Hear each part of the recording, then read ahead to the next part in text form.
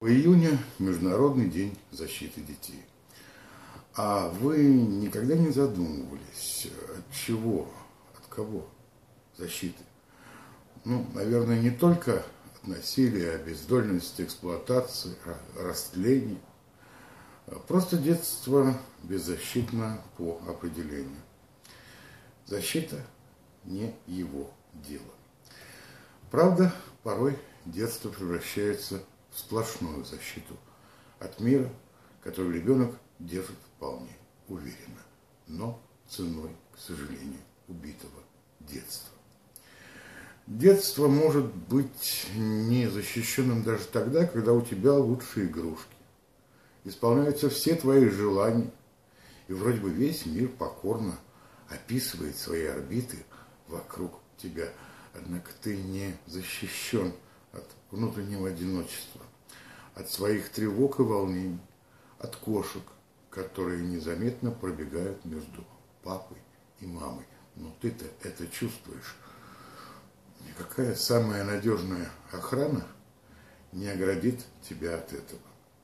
Ну, а сам ты пока не умеешь. И единственная защита – это человек рядом, взявший ответственность за тебя. Человек, которого ты любишь и которому безоговорочно доверяешь. Не он тебя, тебя приручил и теперь вот расплачивается за это своей ответственностью. Вовсе нет. Ты его. Оказав ему грандиозное доверие, которое он оправдывает в твоих глазах своей ответственностью. Но иногда даже и без этой ответственности хотя именно ею, укорененным в самом факте его существования, рядом в твоей жизни, защищает тебя. Увы, среди взрослых все меньше и меньше носителей такой ответственности. Взрослые в мире начала 21 века сами удручающие, беззащитные. Они ищут э, защиту от собственных проблем, своих детских воспоминаниях, привычках, стереотипах, пытаются э, доигрывать в игры, в которые когда-то не доиграли, подчас по-взрослому жестко и даже жестоко. Тогда как найти ее, эту защиту, они могут лишь в одном – в ответственности за тех, кто их приручил. И, невзирая ни на что, продолжает доверять им, любить им и очень часто жалеть их. Принятие этой ответственности для многих взрослых, собственно, единственный шанс наконец состояться по-человечески в качестве личности. И в итоге, наконец, перестать э, защищаться от мира и защищать от него своих детей, сделав его таким миром, в котором попросту не пристанет. Прекрасно есть такое э, выражение из народного педагогического оборота. Не пристанет то, чего, то, от чего надо защищаться. И в мире в этом останется только одно – естественное, логичное и, в общем-то, безальтернативное – жить.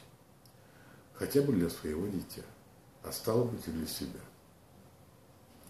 Ну, понятно, что позиция взрослого и э, сам способ представления образа взрослости современным детям является в данном пункте решающим. Когда-то совсем недавно во взрослости для ребенка пряталась тайна, а во взрослении огромнейшая интрига. Вся взрослость 21 века, она, знаете, на показ.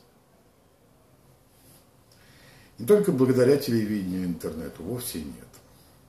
Взрослые чрезвычайно щедры на откровения в своих повседневных бытовых экспрессиях, порой выдавая нечто очень похожее на детское. Они импульсивны, они капризны, они обидчивы, они не всегда чувствительны к действительно зыбкой э, в современном мире грани игры и в самделишности.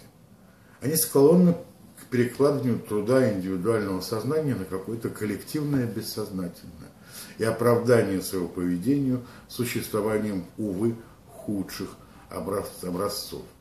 Они предпочитают мифы знанию, отличаясь от детей разве что болезнь, болезненной серьезностью. Хотя ее нетрудно узнать, эту серьезность, в игре «Дошколят в школу». Поверьте, точнее вспомните себя, взрослеть без тайны, без интриги очень трудно. И тем не менее дети как-то взрослеют, примеряя примеряя меняющуюся взрослость на себя. И через себя же оценивая ее на прочность. Но о результатах этой примерки мы пока почти ничего не знаем. Тут уже интрига для нас самих, для взрослых. Взрослые, ведь даже если мы его полностью отстраним от организации детских игр – мы будем говорить об игре, все равно останется их главным героем. Я имею в виду здесь не только вот такую классическую сюжетно-ролевую игру, там, скажем, игру по взрослым сюжетам и с принятием взрослых ролей. А, ведь взрослый это не набор полномочий, недоступ, недоступных ребенку. Взрослый это прежде всего чудо. Доктор притягивает не, притягивает не белым халатом и там, или там стетоскопом, как символическими атрибутами своей власти над больными, а тем, что может спасти жизнь, даже без этих атрибутов. Тут он герой, а вот просто быть при атрибутах – это роль. Вспоминается здесь Сальвадор Дали, который свойственной ему манере сказал «геройство – род моих занятий».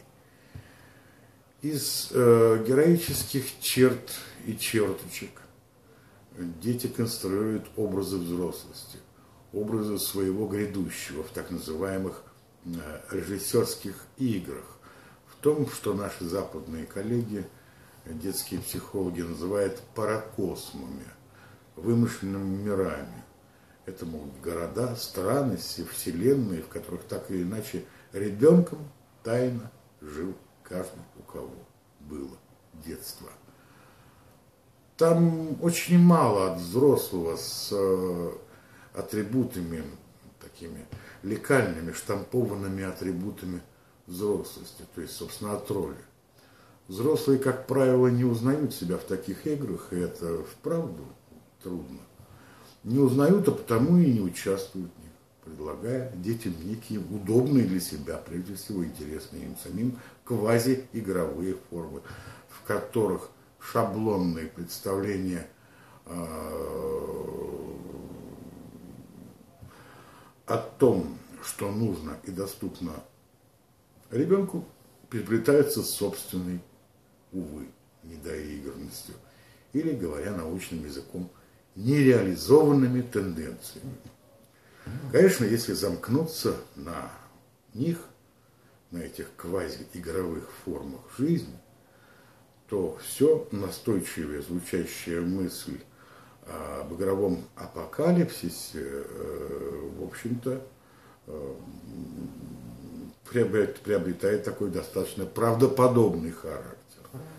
Но, к счастью, слава Богу, мир детской игры богаче, хотя в нем остается все меньше детского. А главное,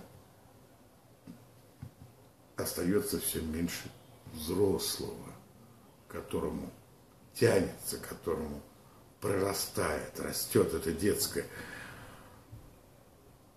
К чуду, чуду, друзья мои, героизму – неповседневности в людях, которые, которых дети встречают повседневно. Взрослость для ребенка – это событие. Событием должно стать и взросление. Но этого не произойдет, если рядом с ребенком не будет живого человека события в лице нас с вами, родителей, педагогов. Если не будет героя, который, в числе прочего, еще и защитит. Защитит ребенка и себя самого. А тем самым весь наш мир.